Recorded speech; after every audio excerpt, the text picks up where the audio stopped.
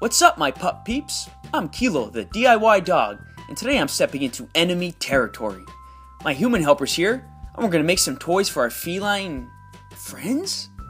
That's right, Kilo. We're gonna make some cat toys. Kids Pet Club loves all pets. Alright, human, let's get this over with. I hope at least there's treats involved. The first toy we're gonna make is a cute little pipe cleaner spider. You need three pipe cleaners to make this toy.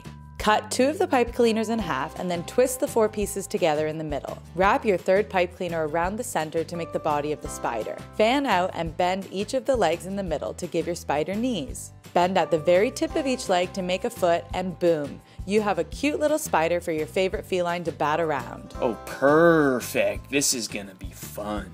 For the second toy, you need two pipe cleaners, a pom-pom or some feathers, and a pencil.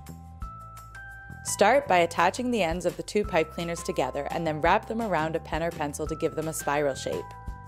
Stretch them out and attach your pom-pom, feathers, or anything else that dangles to the end, and you have a fun wriggly squiggly wand toy. Yeah, no, I'm not going for a human. These are cat toys for a reason. It doesn't even squeak! The third toy we're going to make is a little caged ball. Take a piece of tinfoil and scrunch it up into a ball, and then use one or two pipe cleaners to wrap loosely around the tinfoil like a cage.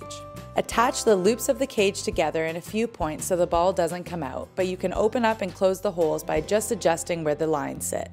We made one small cage with a single pipe cleaner and a bigger one out of two.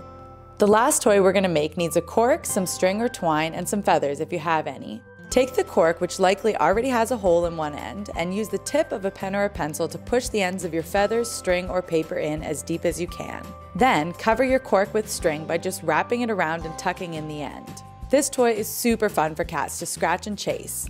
Oh, let me have a go!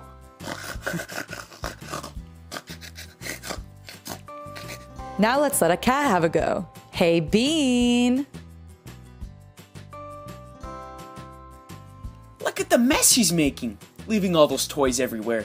That's alright, that's why there's a part two to this DIY, and that's making a box for all these toys to go in. I got a jar full of treats with my name on it. This cat just gets a box. You know, Kilo, cats are actually famous for loving boxes more than anything else. And I'm famous for being adorable. So what? Take an empty box with a lid like a shoebox or something and get some stickers and decorative tape to jazz it up. We used a sheet of glittery tape on the top of our box, some cheetah print tape to dress up the sides, and then some cute cat stickers to give it that extra pop. You can also use a chalk or a regular label to write your cat's name and make the box your own. Hey, let me have a look. And if you know anything about cats, he's about to get his favorite toy of them all this box. Alright, this one I can get on board with. And always be sure to supervise your cat when playing with toys, big or small. So that's it. I guess I'll cat you later, human.